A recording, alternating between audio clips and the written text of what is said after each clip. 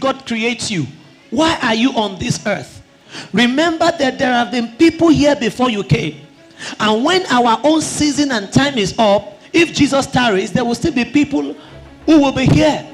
The question we should ask ourselves is this is your time. In this your season, are you living to fulfill the reason why God placed you on this earth? With me. How do you glorify God with your life? How do you love Him? You love Him by deciding to serve Him. You glorify Him by deciding to what? Serve Him. Your stewardship to God is the expression of your love for Him. Your stewardship to God is the expression of your glory for Him. That's how we love, that's how we glorify Him. Now, until the devil can make you think in a certain way, he cannot make you act in a certain way. If you are here, for instance, now you don't have a good relationship with God, it's because of the way you are thinking. Until the devil can get you to think wrongly, he cannot get you to act wrongly.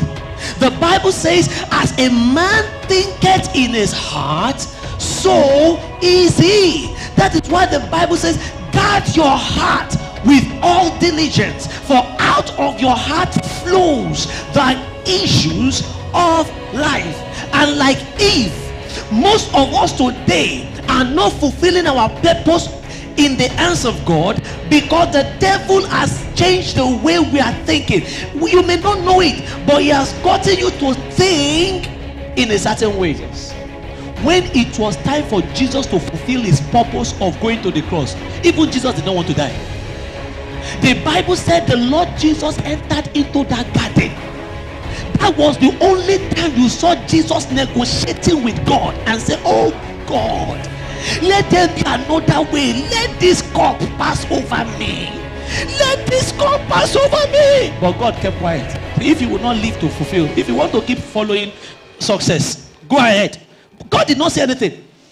Jesus prayed for three hours. He did not want to continue on the path that God wanted him to continue. He wanted to do other things than serving God.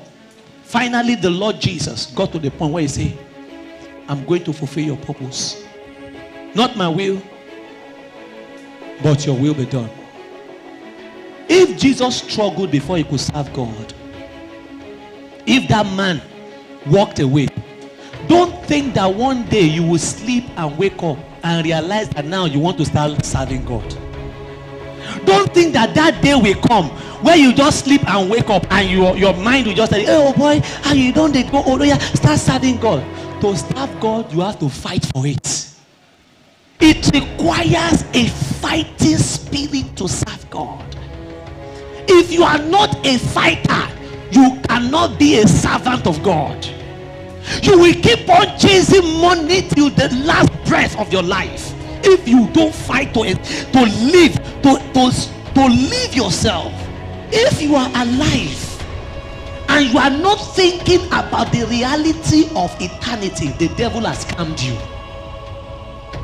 And this is what the devil wants to keep us busy, to keep us doing other things, and never think about the fact that one day, if Jesus tarry, you will cross. Say that to serve God will require effort. To serve God, you have to fight for it. Look at your prayer life. You spend more time chasing money than you do on your news with God now. You spend more time on Facebook, on social media, reading newspaper than you do reading your Bible now. Hey, it's a trap. It's a trap. Wake up. Wake up. Wake up. It's a trap. It's a trap. So many people are falling victim of that, thinking there is no consequence. But I've just shown you eternity is a reward. You will not just enter into it, you have to work for it. You have to serve your way into it. I pray today that you break out of whatever has held you bound from fulfilling your purpose to serve God in the name of Jesus. Break out of it. Break out of it. The devil is the one deceiving you. There is consequence awaiting those who don't serve God.